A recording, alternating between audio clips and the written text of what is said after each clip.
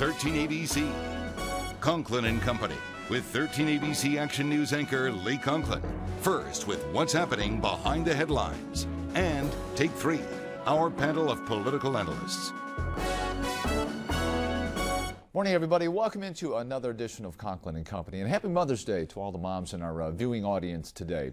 Coming up on the program, Take Three is back. We'll talk about the mayoral race or, or the lack of one right now. Pretty quiet on the campaign front here in Toledo. Skylar Meadows and Tom Troy will join us in just a few minutes. Chris Christie's battle with weight. Uh, the New Jersey governor opting to have lap band surgery that became public on Monday. Potential impact on his run for the White House and what that means. That story before the big story of the day broke uh, Monday evening. Attorney General Mike DeWine stopping by earlier this week talking about the horrific Cleveland abduction case, a story that broke uh, later on Monday. Also, career criminal legislation.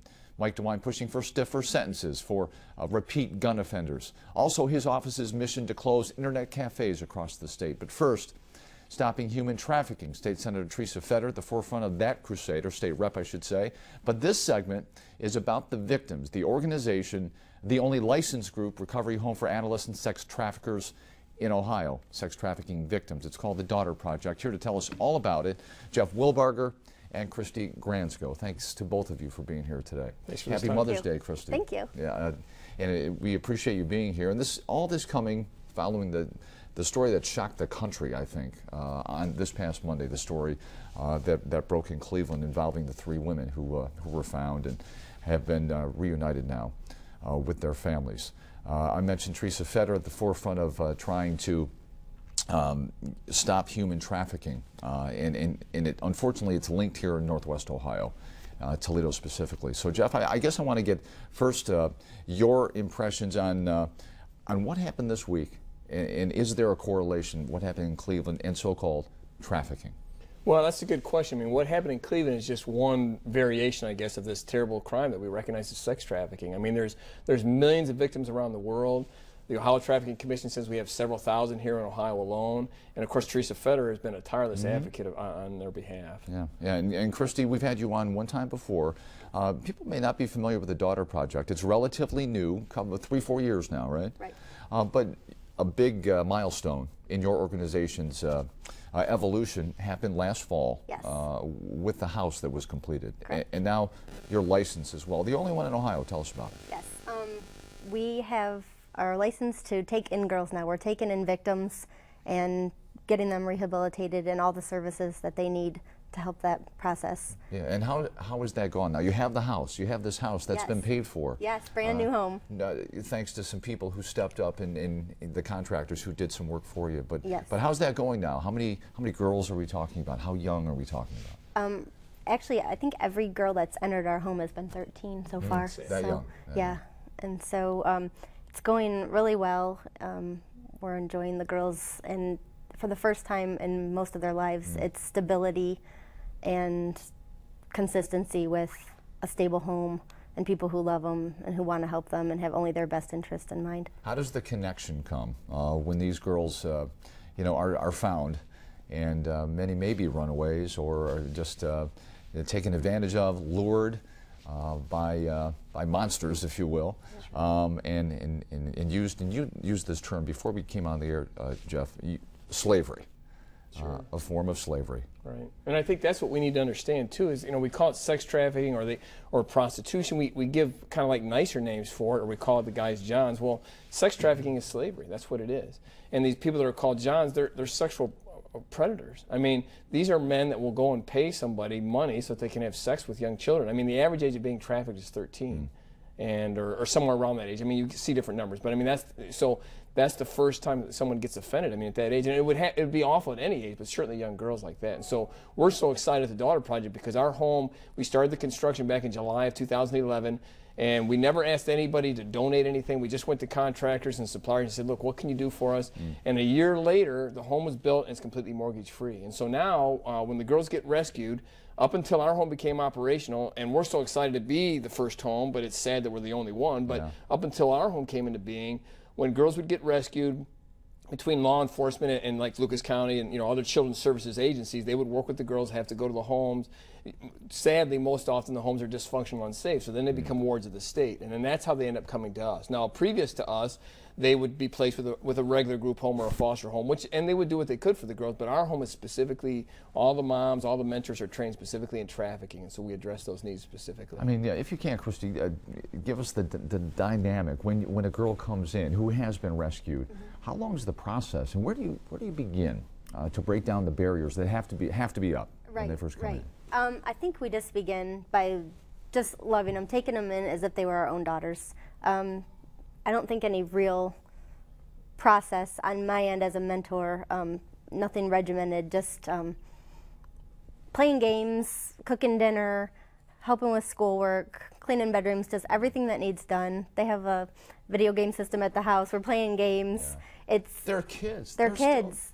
Children. Yeah what about school? How does how does that work out? Do you do it in conjunction with the local school district, or is it a homeschooling type situation? They're homeschooled through. It's called ECOT. Okay, yeah, sure. Yeah, that's mm -hmm. right. The electronic uh, electronic classroom of tomorrow. Yes. Right? yeah, right. and they've and they've been so generous in working with us and understanding our situation, being very flexible, and and we love. I mean, we have house moms that live in the home with the girls 24 hours a day and so then they function like a family. They get up, they do meals together, they do chores together, then they do the schoolroom. And Christy and, and about eight other ladies that are mentors, they come in the home. And like she said, they don't have a particular agenda. And we want it that way. We want it to be like a home where it's relaxed. The girls can function, you know, like a normal family is the idea. Uh, and with the mentors, these girls, as much as anything, need relationships. All the adults in their lives have either been abusive or, or neglecting of them. And so we just, they need relationships with adults to see that the, what those healthy relationships are like. Yeah. And so the mentors come in and they do that. Uh, what about uh, getting the girls out in public again? Uh, I imagine they're, they're a little reticent about uh, getting back out there. What, is that, that the they, part of the process? They do um, all the things that normal kids would do. Okay. They go shopping, they go to the movies, mm -hmm. they go out to eat, they go to the park. They ride bikes. They just go hang out outside. They have some freedom once they again. yes, they're always with the house moms right, and right. mentors, but it's just nice to see them. Like you, I guess I have a daughter, and I don't really think every day like, oh, she's laughing, oh, she's playing mm. a game. I go to the house and I'm having some girl. We're doing some dance game on the Wii, and she's making fun of me because I can't dance. And I'm like, oh, this is right, so she's, nice for her doing to what just she should be doing. Do, yeah, it's yeah. so nice to yeah. see. Hard to fathom what what yeah. girls like that have been put through, and these these girls in Cleveland, right. who, are now young women. Right. So giving them the chance to just be kids. How long is the uh, is the process? How long might you keep somebody at the daughter Well, project? you know, that's a good question. We have a healing committee with nurses and counselors, and when we originally made the plan, we expected that the girls would be with us for maybe a year, mm -hmm. maybe as long as two years, depending upon. I mean, these girls have been maybe months or years where they've been held as prisoners, either in an apartment or a home, very similar to the Cleveland situation. Of course, that's a unique uh, situation as far as just one person and you know there wasn't selling to other people but that was that was just as much trafficking as anything else. It's that it's the enslavement. And so we expect them to be with us for for that period of time. Now if we're working with children's services and they they have custody of the child, so they'll determine when they come and go. But we're in it for the long haul, and that's the important part. We want that's what we want the girls to understand is mm -hmm. we're there for them. This isn't just like it's our not job. rehab six months, you're out. Yeah, exactly. We'll keep them as long as children's services will allow them, or in the case of private placements, then that's that's our determination how long they stay. Mm -hmm. And we, we want to emphasize that with the girls. It's like you're here, we love you, we care about you, and we're going to do everything we can to get you into a position where you can either return home, which is the ideal, or be placed with a foster family. And it is faith-based, this organization as well, is, is it not, Jeff? Yes, it is. Well, I mean, we, I mean, about four years ago, I believe God gave me a sense of calling in my life to to do this because we had no homes anywhere in the country to do this, or in the state, I should say. And there's only about eight or nine in the entire country, which is really sad.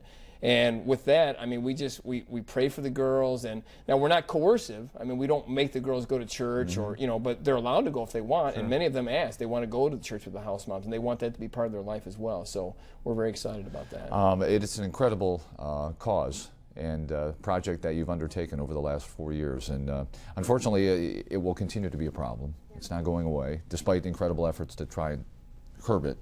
So uh, we laud you uh, for your efforts and, and what this organization is all about. It's called the Daughter Project. There are two events, and the funding is always an issue uh, for, for uh, entities like yours. And there are two events coming up that raise a few dollars for the Daughter Project. Let's take a look here. It's called Free to Laugh at the University of Toledo. The second annual, Christy? Yes. Okay, uh, why don't you take us through this? What, what's it all about? Okay. Um, Free to Laugh is a comedy show with professional comedians. It's clean comedy, so it's all good for ages 8 to 80 and um, we just take a night off from the intensity of the horrific trafficking, Mm-hmm. and you just get to laugh and know that you're helping the cause at the same time. $20 tickets, 100% of your money goes to the Daughter Project. Okay, May 16th or May 18th? Let's Actually. Free to Laugh is in October. Oh, October. Okay, all right. we Well, have I a beg your pardon. sponsorship luncheon That's coming what up it is. The on May sponsor 16th. luncheon at UT. Yes. Which is okay. Go ahead Yeah. and go there too, right? Okay. Yeah. Yeah, You'd yeah, love- you'd yeah. love to see the sponsors. Yeah. Uh, and here's a big one coming up uh, in June. It's it's a run, and Jeff, take us through this one. Right uh, on Friday, uh, June, if I remember, is it 26th? I can't read that far away, but yeah, it's, on, it's a Friday, Friday evening out, out at Oak Openings, and uh, somebody organized one of our. We have an awareness committee, and they said, well, we want to raise awareness, and we think a 5K would be a great way to do that. And so we're looking forward to having people come out. It's a run and a walk, and those that are competitive and want to get the T-shirt and the trophy, we've got that. And those that just want to come out and walk and just relax, you can do that too. And the important thing is to just tell as many people as possible to help raise awareness. Yeah, in a, in a beautiful place too. Yes. And Oak Openings. Uh, thank you both for being here at uh, very timely uh, timely situation this week. We appreciate it. and you. Christy, once again, happy Mother's Day. Thank you. Jeff, thank you for being here. Thank you so much Best for of luck time. with the Daughter Project. We'll come back in just a minute. Attorney General Mike DeWine after this.